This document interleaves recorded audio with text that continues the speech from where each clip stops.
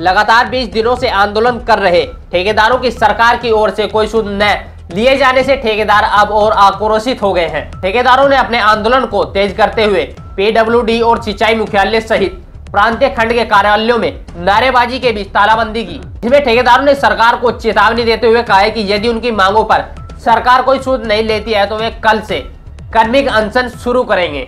ठेकेदार कल्याण समिति के अध्यक्ष गोविंद सिंह पुंडीर का कहना है कि सरकार प्रदेश में छोटे छोटे टेंडर लगाए, जिससे कि छोटे ठेकेदारों को रोज़गार मिल सके।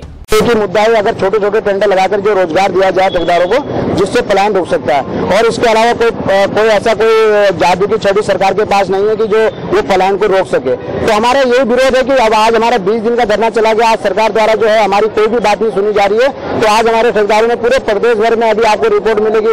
हल्द्वानी नैनीताल जितने भी हमारे डिवीज़न है चाहे सिंचाई विभाग हो चाहे पीडब्ल्यू हो सब में तालाबंदी का जो आज निर्णय लिया गया आगे हमारा धरना तब तक जारी रहेगा जब तक सरकार हमारी बात नहीं सुनती क्योंकि हमारी बात को सरकार को सुनना ही पड़ेगा क्योंकि हम उत्तराखंड के लोग हैं तो हम कोई बाहर से आए हुए लोग नहीं है। अगर अगर सरकार कहती कि बड़े टेंडर लगाए तो हमारे जितने भी छोटे श्रेणी के रजिस्ट्रेशन आप कैंसिल करा दीजिए। आप एक जियो निकालिए कि भाई इन ठेकेदारों को टेंडर नहीं मिलेगा उत्तराखंड के लोगों लोगों को नहीं मिलेगा तो हम भी कहीं ना कहीं अपनी शांति करेंगे, जो भी हमारा। लेकिन तब तक हमारा आंदोलन जारी रहेगा। क्राइम स्टोरी के लिए ब्यूरो रिपोर्ट देहरादून।